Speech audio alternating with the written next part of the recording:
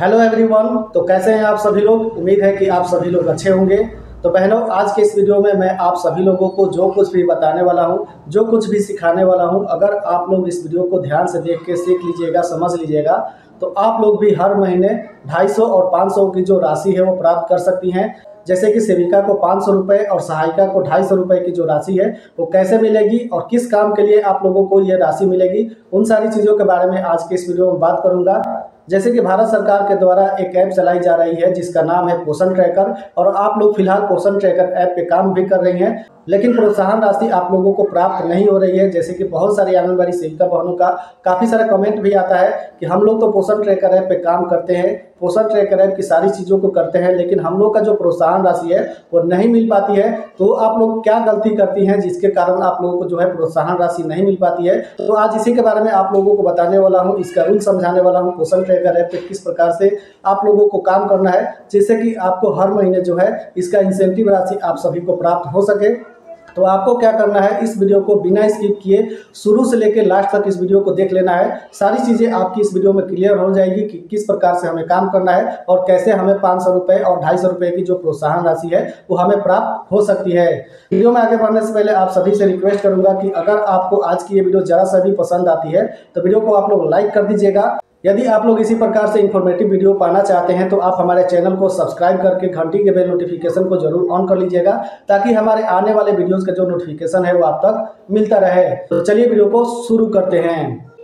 अब बात करते हैं हम लोग rule number one Poshan tracker app पे काम करने के लिए आपको जो है रूल को फॉलो करना होगा, तभी जो है आप लोगों को इसका जो इंसेंटिव राशि है वो प्राप्त होगी। तो आपके लिए जो रूल नंबर वन है, वो है आप लोगों के पोषण ट्रैकर ऐप पे डेली ट्रैकिंग में जो है आप लोगों का जो आंगनबाड़ी केंद्र है, वो कम से कम 21 दिनों के लिए ओपन होना चाहिए, तभी आप लोग जो है इस चीज़ के लिए एलिजिबल होंगे। ठीक है? आंगनबाड़ी केंद्र ओपन होने के साथ साथ आप लोगों को पोषण ट्रैकर ऐप पे, जो बच्चों का अटेंडेंस है, जो बच्चों को आप लोग मॉर्निंग स्नैक्स या एससीएम आप लोग देते हैं, वो भी आप लोगों का अप टू डेट यानी 21 दिनों से ज़्यादा होना चाहिए 21 दिनों से कम नहीं होना चाहिए। इस प्रकार से अगर आप लोग काम करते हैं तो आप लोग इस चीज़ के लिए एलिजिबल हो सकते हैं।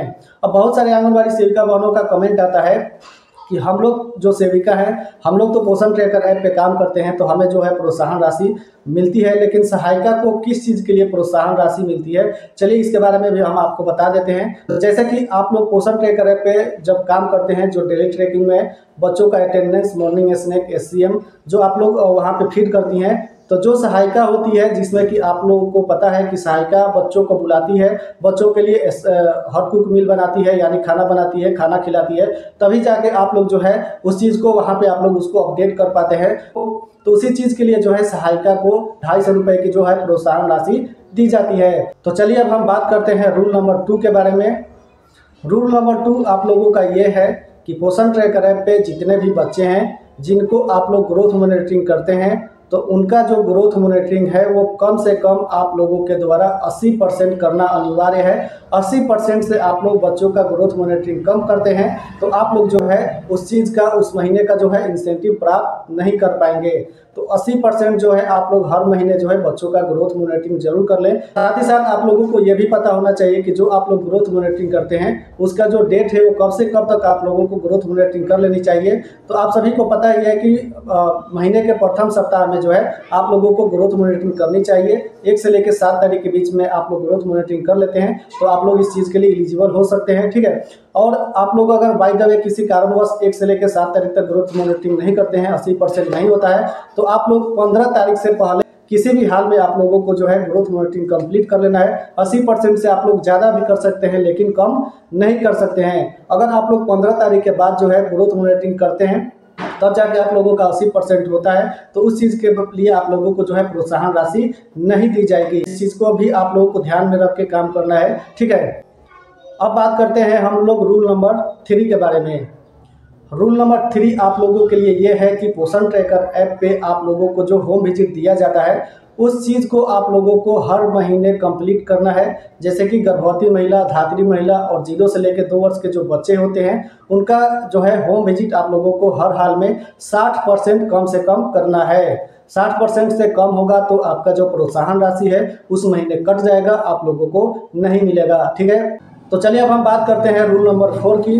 तो रूल नंबर फोर आप लोगों के लिए ये है कि जैसे कि आप सभी लोग अपने आंगनबाड़ी केंद्र पे जो कम्युनिटी बेस्ड इवेंट ऑर्गेनाइज करती हैं, जैसे कि गोदभराई दिवस और अनपराशन दिवस तो उसकी एंट्री जो है आप लोगों को पोषण ट्रेकर ऐप पे उसी दिन कर लेनी चाहिए। जैसे कि गोद भराई दिवस और अनपराशन दिवस जब आपके आंगनबाड़ी केंद्र पे होती है, जिस डेट को होती है, उसी डेट को आप लोगों को पोषण ट्रेकर ऐप पर जाके उसकी एंट्री कर देनी चाहिए। अगर आप लोगों की ये एंट्री अगर उस महीने नहीं होती है, तभी आप लोग जो है इस चीज़ का बेनिफिट नहीं पा सकते हैं। ठीक है? अब हम लोग बात करते हैं रूल नंबर सिक्स की। तो रूल नंबर सिक्स आप लोगों के लिए ये है कि पोषण ट्रैकर ऐप पे जितने भी लाभार्थियों को आप लोग टीएचआर देते हैं, यानी कि टीएचआर देने के बाद आप लोगों को पोषण ट्रैकर ऐप पे जाके उनकी एंट्री करनी होती है कि हमने इन लाभार्थियों को जो है टीएचआर दे दिया है। तो ये कुल मिला के आप लोगों के लिए छः रूल है।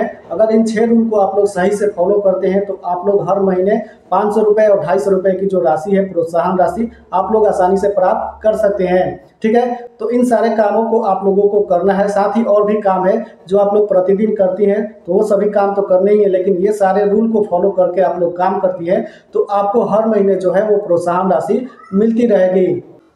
तो आज के इस वीडियो में बस इतना ही। मुझे उम्मीद है कि आप लोगों को आज के इस वीडियो में मैंने आपको सारी जानकारी दे दी है। अगर आप लोगों को आज की ये वीडियो पसंद आई हो तो वीडियो को आप लोग लाइक कर दीजिएगा।